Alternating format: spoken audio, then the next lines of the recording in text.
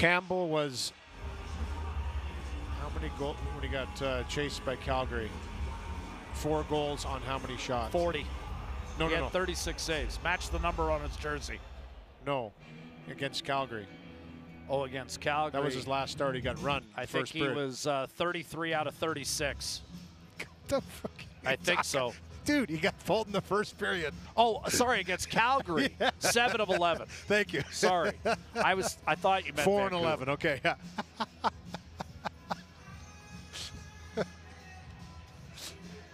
yeah.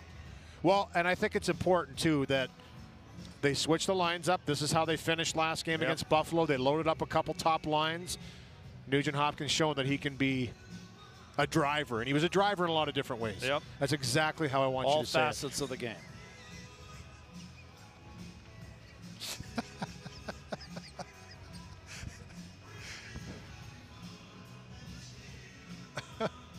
Yep.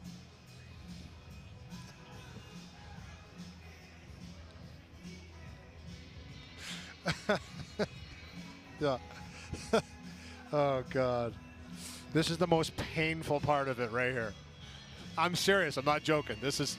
I'd rather do a pre. I'd rather Being do intermission. for this This long. one's the most Four painful. hours now. It's the most painful. Okay.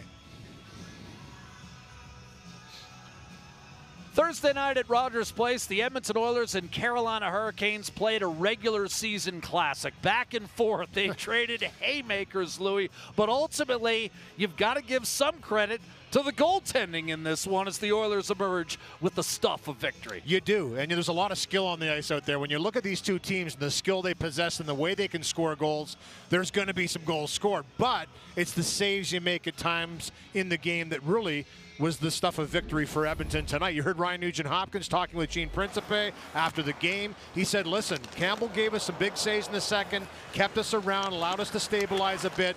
He was really dialed in. Svechnikov with his first career hat trick."